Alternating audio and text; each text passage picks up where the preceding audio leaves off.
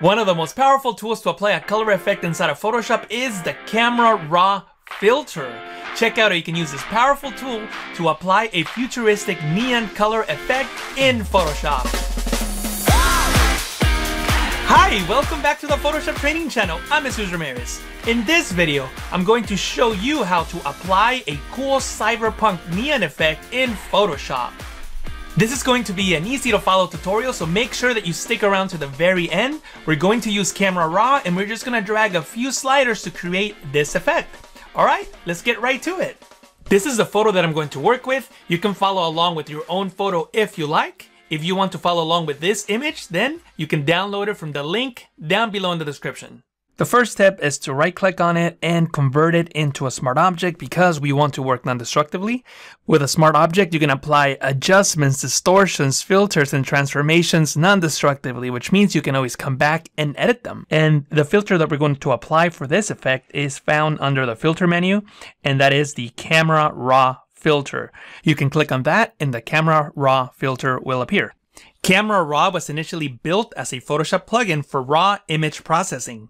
In 2013, with Photoshop CC, Adobe added Camera Raw as a filter, allowing you to use these powerful editing tools on more file types like PNG, TIFF, JPEG, video clips, and more. We're going to start editing this photo in the basic panel, where we can adjust the lighting and color of the photo. Keep in mind that all these edits are subjective and that every photo will require a different adjustment. Use my edits as a starting point and make the appropriate changes to your photos. But most importantly, remember what each slider does and how it works. First, I will use these sliders to control the brightness of the image.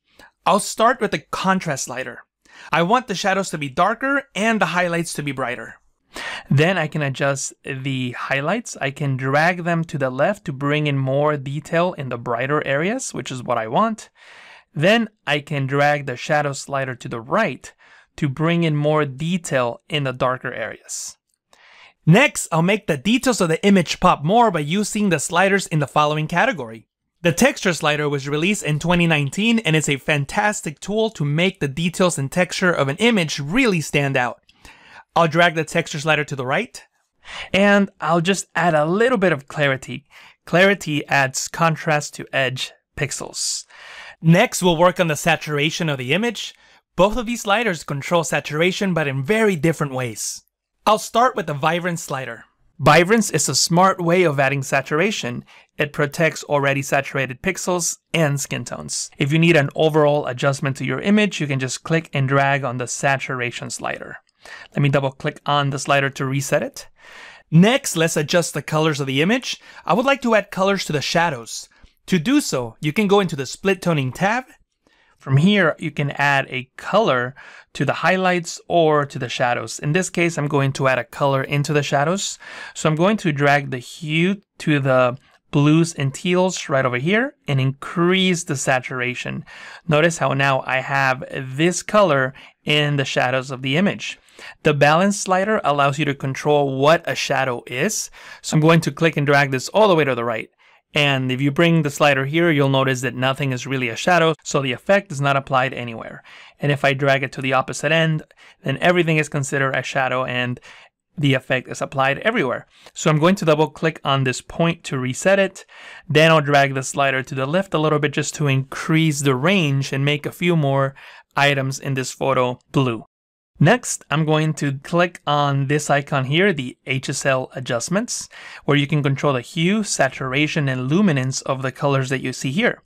With the hue, you can shift the color to a different degree. For example, if I adjust the reds, you'll see the red neon light here shift in hue. In other words, it would become a different color. See that? How it's yellow, orange, red, and magenta. So you can shift the colors that you see in your image. I'm going to go into the luminance now. And from the luminance, I can adjust how bright those lights are. So I want that red light to be a little bit brighter. And I'm going to brighten up the oranges, which is her skin tone. So I'll brighten that up a little bit. And I can adjust the blues as well. Next, I'm going to go into the saturation. And from here, I'm going to increase the saturation of the oranges, of the yellows, of the blues. I want those to really pop. But notice what happens when I adjust the reds. And I'm going to do an extreme adjustment so that it's noticeable. Notice how you get all these red blotchy areas all over the image. This is mainly because of the JPEG compression of this photo. This necessarily wouldn't happen if I was working with a raw photo. So I am working with a JPEG image, so I really can't push up the reds too much in this case. So what I'll do instead is go into the calibration tab and from here I can adjust the hue the primary colors which include red and I can just increase the saturation all the way. See that? See how by increasing the saturation I don't necessarily create those blotchy areas that you saw in these parts of the image? So I can just adjust the image accordingly. I can also increase the saturation of the blues, as you can see here, and adjust the hue so I can make them more of a teal color rather than blue. And obviously you can keep fine tuning the sliders until you get the result that you want. By the way, if you want to learn more about Photoshop, then check out my latest video, 30 Photoshop tips and tricks that you probably don't know. You'll find a lot of useful information in this tutorial. I highly recommend watching it right after this video. I'll place a link to it right below in the description.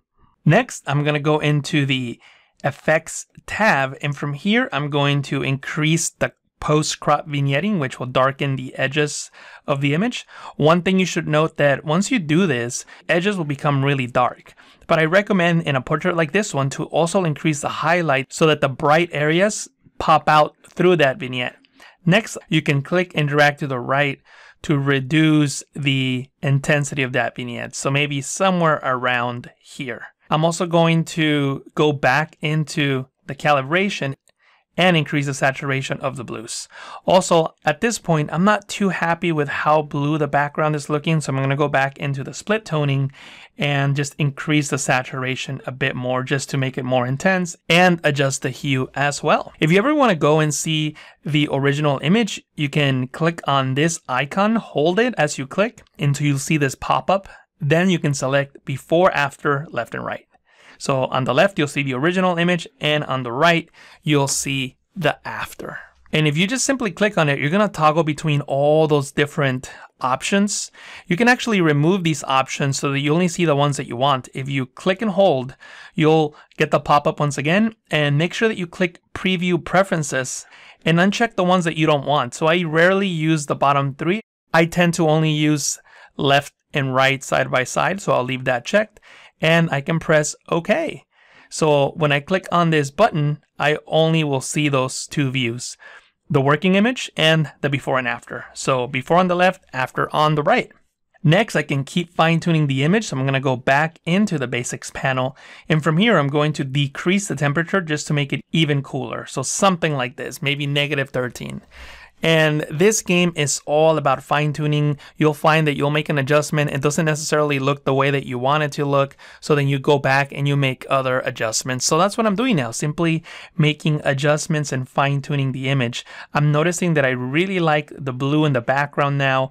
I like the red highlight pointing at her. I'm noticing that there's a lot more red on her face than I want. So I could do a couple things. First, I could try the HSL adjustments once again and maybe adjust the oranges a little bit. In this case, I don't seem to be doing much. Maybe if I adjust the hue, so I'm going to adjust the hue of the oranges and that's going to help a little more. So I'm going to take the oranges and drag them more towards the yellow so that they're not so red. And you can click on this icon here to toggle the visibility between the adjustments that are just in this panel. So if I click on this, you'll see that I'll remove the adjustments from this panel. I will click again and the adjustments from this panel come back. And you can see that that looks much better in this area. Next, I'm going to apply a couple local adjustments to make the image pop a little more. First, I'm going to select the radial filter and I'm going to click and drag on her face like so. And if I hold the spacebar, I can move the circle as I created and I'll have a circle that just goes around her face.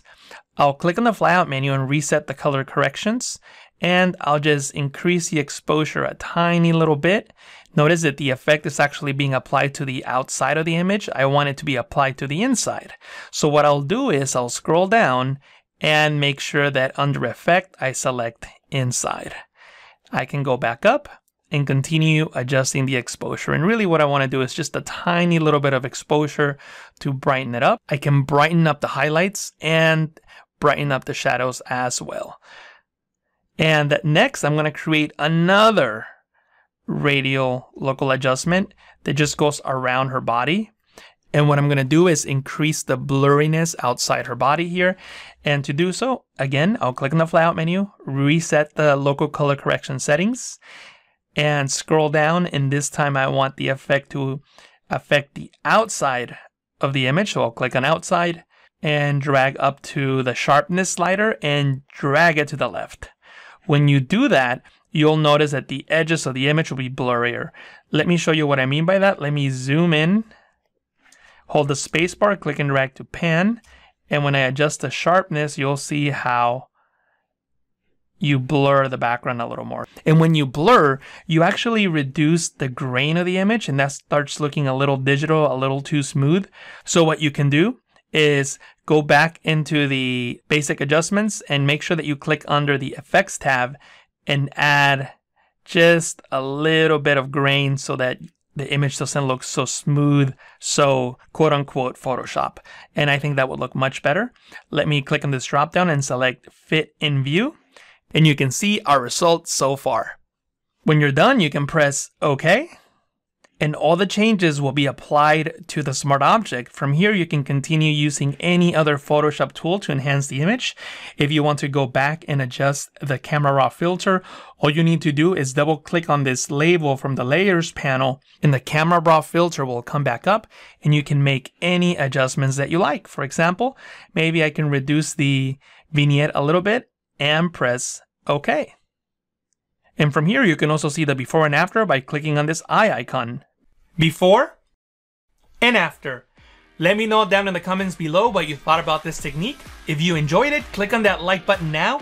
Also, if this is your first time at the Photoshop training channel, don't forget to click on that subscribe and notification button so that you don't miss any new Photoshop tutorials. If you decide to upload your results onto Instagram, don't forget to use the hashtag PTCVids. I often look for that hashtag to see what you're all up to. Thank you so much for watching. I'll talk to you again in the next Photoshop tutorial.